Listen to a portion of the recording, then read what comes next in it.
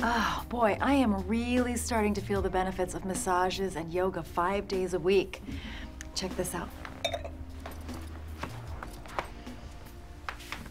Look at you. Last week you were flipping out about missing work. Ah, no, that's old Liz.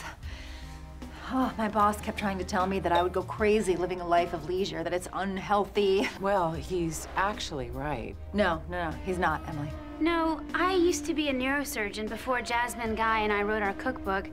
And the human brain needs stimulation or it atrophies, and your pleasure center literally shrinks. That's why we do our special activity to combat that. What, like Sudoku? Uh, we did a games night for a couple of weeks. Didn't last.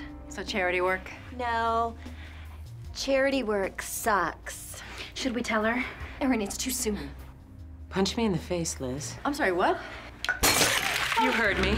Punch me as hard as you can, and then I am coming at you like an animal. Oh, God, is this a fight club? The pain proves we're alive. Oh, this is very disappointing. Come on, hit me. Get a taste. I brought a roll of quarters to hold to my fist. God, Jack was right.